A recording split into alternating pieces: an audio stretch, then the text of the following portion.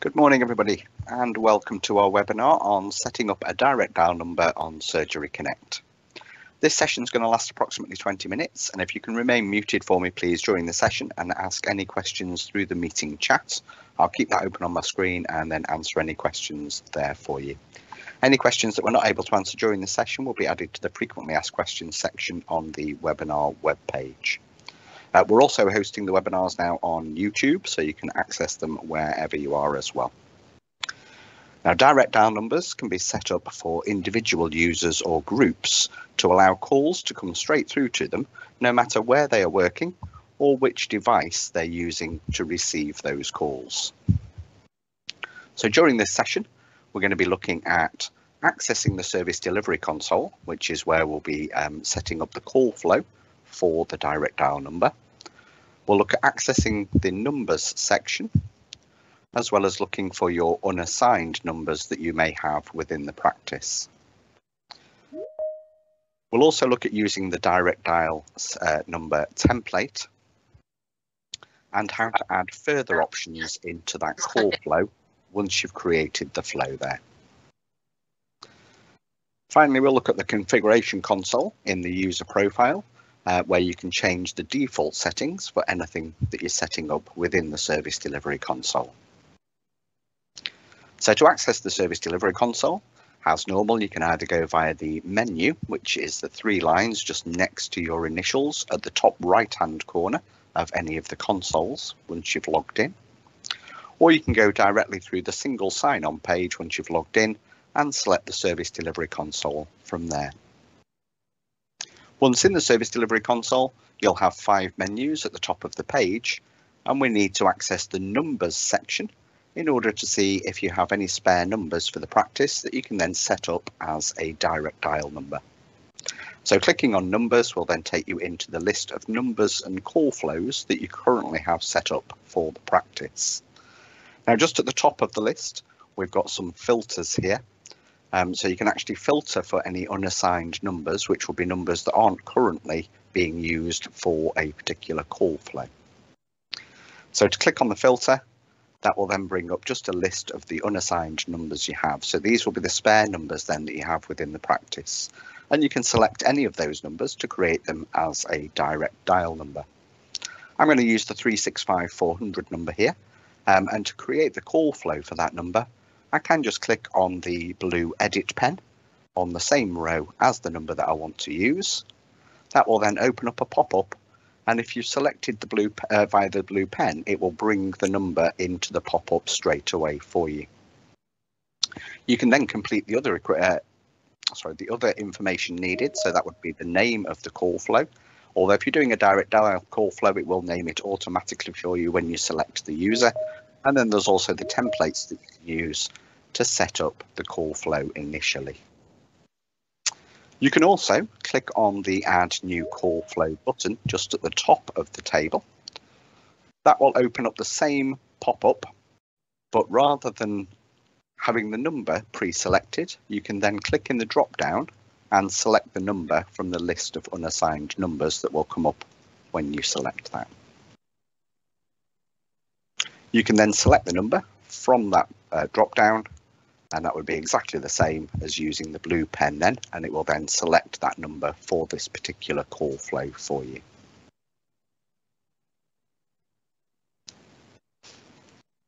Once you've selected the number, you can then go on and use the templates to begin setting up the template there. A direct dial call flow for a particular user you would use the DDI call flow template. If you're wanting to set up a direct dial number for a group of users, once you've created that group in the service delivery console, you can then use the simple group call flow to create a call flow with a direct dial. So you can use the simple group call flow to set up a call flow that will take a call directly into a group of users whereas you're going to use the DDI call flow to set up the users uh, a direct dial number for an individual user. So I'm going to use the DDI call flow to set up a call flow for a new user that we set up last time. Once you select the DDI call flow, it will then ask uh, which user you want to allocate to that particular number. So remember with Surgery Connect, the numbers go with people rather than with phones. So whichever user you select, that direct dial number then will look for that user, no matter where they're logged in or which device they're using to make and receive their calls. You'll see a preview of the call flow in the preview box when you select the template. To select the user, just click in the drop down. You will then have a list of the users that currently set up for your practice and you can select that user's name from the drop down there. That will then automatically name the call flow as that particular user's di direct dial. Once you've completed the information in the pop-up, click on Save Call Flow, and that will then create the call flow as it's shown in the preview window for you. If you then remove the filter for your unassigned numbers, you'll then see the complete list of all the numbers for the practice again. And here you can see that we've now got our 365 400 number that's set up as John Smith's direct dial. Now, once you've set that up via the template, that is the call flow completed. However, if you wanted to amend that to add further options, then you can click on the blue graph icon, which is your edit button, which will then open Xflow and select the call flow that you've just created there. Once Xflow opens on a new tab, you'll have the Xflow workspace. So up at the top of the screen, you're going to have the name of the call flow. So you know you've selected the right one. So indeed, we're looking at John Smith's DDI call flow here. You've then got the functions at the top of the um, Xflow page here, where you can select, edit and test your call flow. Not too much to test on this one, so the test overrides will uh, force a calendar into a particular mode. No calendars on this particular call flow as it's a direct dial, so there shouldn't be any need to test any overrides there. And then down the left hand side, we've got our icons that we can drag and drop onto the workspace so that we can create blocks within the call flow to change the actions within this uh, default call flow here. So if you wanted to add on a voicemail for this particular user, once the call flow is set up and you've accessed Xflow, you can just drag and drop the icon for user voicemail onto the workspace. As you drag that on, it will then ask you which user you need to set the voicemail up for. That's obviously going to match the user that you've set up on the call flow here. So I'm going to select John and then click on add. That will then add on the voicemail block to the call flow here, which adds a standard voicemail um, with a set message. Now to link that up to our call flow here, I don't want the system to hang up automatically um, if John is busy and on the phone or if he doesn't answer. So I'm going to click on the little hang up block on the workspace, which will then give me dotted lines around that particular block. I can then use delete either up at the top of the screen here in the functions, or I can use delete on my keyboard and that will then delete that block and the arrows that are going to it.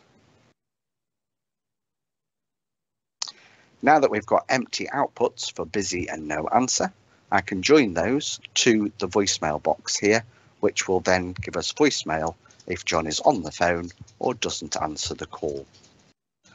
Remember, that's just connecting the dots with the two options then that you want to go to that voicemail.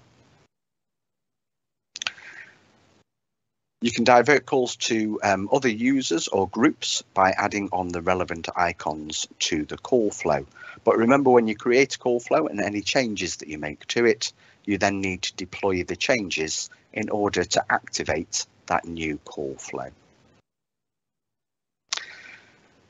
Now I've added voicemail on there. Um, when a voicemail is received, it will send you an email and in that email, it will give you the details to access the voicemail on the phone and you can actually change the message um, via the handset on the desk.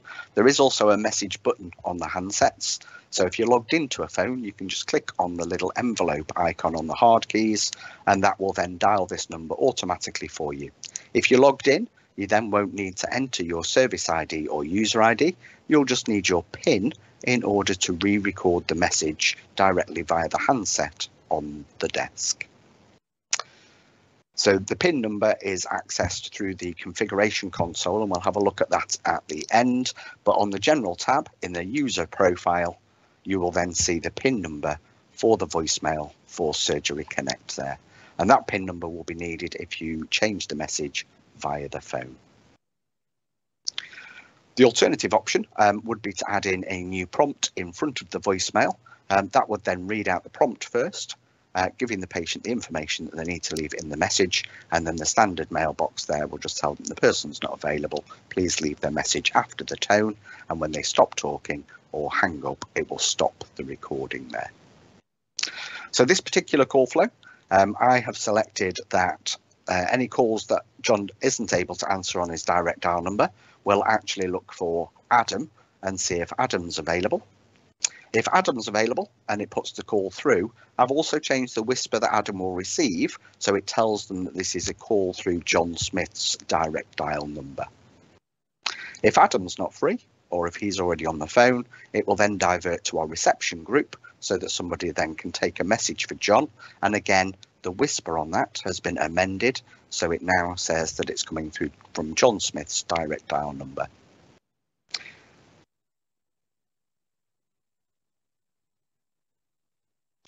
If you've got quite a large call flow, if you use the auto arrange function up at the top, it will rearrange it on the page so it's a little tidier and easier to read for you. And don't forget to deploy that call flow when you've finished making your changes and you're happy with the way that the call is going to flow through the system there. Any changes that you make um, are saved on the system initially, so you'll see them on the screen. If it's a group um, call flow, you will have a test number that you can call um, and any changes are saved onto the test number first of all. With individual direct dials, you won't have a test number, but obviously you can ring the number directly and just check that call flow once it's been deployed. Now, in order to change any uh, default settings, you'll need to access the configuration console. So again, um, if you've already logged into the service delivery console, you could visit the menu, which is just up at the top of the screen on the right hand side next to your initials, and you can go straight to the configuration console from the service delivery console. Alternatively, you could revisit your single sign-on page um, and then click on the configuration console to open that console as well. When you access the configuration console down the left hand side, you'll have similar menus to those that we have on the service delivery console. Um, so we've got our users here and there's also a dashboard that will tell you how many users you've got set up, how many groups and also how many calendars you're using. You can either click on the users in the dashboard or you can click on users in the menu on the left hand side and that will then take you through to the list of users that you currently have set up on the service delivery console.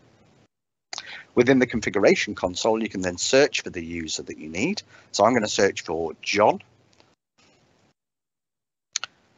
We've now got John Smith's details here, and I can use the edit button just down at the bottom of his uh, user profile in order to view any default settings or to change those settings as well. So when I click on the pen, that will then open up John's user profile. Um, on the general tab, as we saw earlier, you can access the PIN number for the voicemail if you want to change the voicemail message using the desk phone. Um, you can also set as a supervisor reset passwords directly from this screen if people can't access their NHS email address to reset it themselves. On the numbers tab here, you can add in personal numbers. Um, so you can add in a mobile or a home number that would then mean that John could divert his calls to that device. Um, even though it's a direct dial number, remember that the numbers go with people rather than phones. So a direct dial number, even if John is working remotely, will go to which, wherever he's logged in and put the call through on whichever device he's actually using. So if the mobile number's in there and John selected his mobile, calls to the direct dial number will also go straight through to that mobile. When John answers a call, he's going to get the same whisper in the, as he would do in the practice. So if it's coming through on a direct dial number, it will say direct call, just like it does on your internal short dial number. You can also change um, the number of time that the phone rings, or sorry, the amount of time rings before uh, the call moves on to the next action in the call flow. So the default is 60 seconds, so it's uh, sorry, 30 seconds. So it's going to ring for 30 seconds on each device before it then moves on to the next action within that call flow. So with the call flow that we'd got set up that then is going to look for Adam and then the reception team, it's going to ring John's phone for 30 seconds before it then moves on to Adam's phone and then it will ring Adam's phone for 30 seconds if that's his settings as well before it moves on to the reception team. On the missed calls um, tab up at the top of the user profile, you can uh, specify what happens if you miss a call, either on a direct dial number um, or through any groups. So you've got a missed call notification. As a default, that's set up as not to notify anyone. But in the drop down here, you can select either email, text or text, or both if you would prefer. Uh, before you can receive text notifications of any missed calls, you would need to add the mobile number to the Numbers tab within the user profile so that those notifications can be sent out. On the voicemail tab here, you can set the uh, change the default settings for voicemail. So as a default, it's not going to delete any messages until you actually physically delete them.